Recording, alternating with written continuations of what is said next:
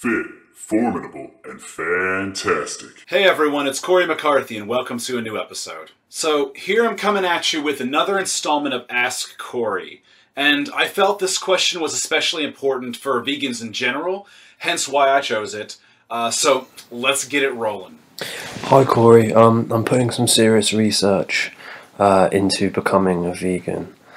Um, I am interested in being active, of course, uh, surfing being uh, my main passion. I don't think I'll be doing any bodybuilding. I'm not too sure my joints can sort of take it. Um, I'm becoming, uh, got shoulder thing going on, ankle thing, my knees are starting to feel a bit dodgy, and um, some sort of information that the doctors provided me with are saying that omega 3s are very good for someone who I think I might be getting arthritis and things at the age of nearly 28.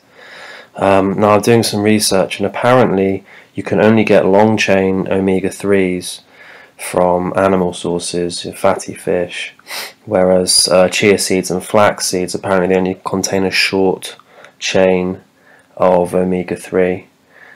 Um, this this is kind of troubling me. I would obviously love to go completely plant based, but if the long chain omega 3 can only be found uh, from an animal source, yeah, I'm, I'm not too sure what to do about it. So, I mean, um, an answer to this would be great. You know, people have been vegan for a long time, so is there a way around it? I certainly wouldn't want, you know, my joints to get worse.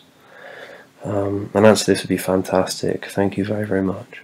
I want to start by saying that I am not a medical doctor. This video is not intended as a replacement for official medical diagnosis or treatment. I'm just simply answering your question straightforward. Take it precisely for what it is. Uh, so moving along, there is a vegan source of long-chain omega-3s, algae. In fact, consumption of marine algae like seaweed is the way in which fish obtain their EPA and DHA. And you can do this by supplementing an algae-based EPA and DHA supplement, typically in the form of an oil, going right to the damn source, skipping the middleman. And there are many brands available if you run a quick Google search, ranging from Deva, Nordic Naturals, Opti3, Vitacost, and the one I personally use, Flora 7 Sources. It is also worth noting that a 2012 meta-analysis conducted on algae-based sources did not demonstrate the existence of the same contaminants that have been found in fish sources. Thus, the algae sources appear to be less polluted, cleaner if you will. As a result, better for you, the fish, and the environment. Now that all being said, short-chain omega-3s, or ALA, are not useless. The ALA you obtain through your diet and or supplementation can be converted by your body into EPA and DHA. Good sources of vegan ALA uh, omega-3s include seeds such as flax seeds, mustard seeds, rapeseed, uh, chia seeds, and hemp seeds, nuts like walnuts, leafy greens like romaine, arugula, spinach, and purslane, uh, beans such as mung beans, navy beans, kidney beans, and soybeans, cabbages such as cauliflower, broccoli, bok choy, and Brussels sprouts, and finally winter squashes such as acorn squash, butternut squash, and pumpkins. And while all of those are good, some are actually better than others when taking into account uh, omega-3 versus omega-6, for instance. Mung beans, from that list, contain 15 times more omega-3 than omega-6. And it is understandable why your doctor would recommend omega-3s given your condition. According to research, omega-3 essential fatty acids are comparable to ibuprofen with regards to anti-inflammatory effects.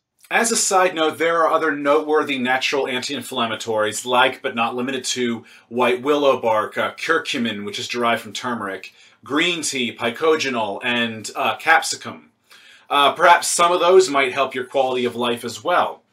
Uh, it's all worth discussing with your doctor, and I've linked all of my references down in the description of this video.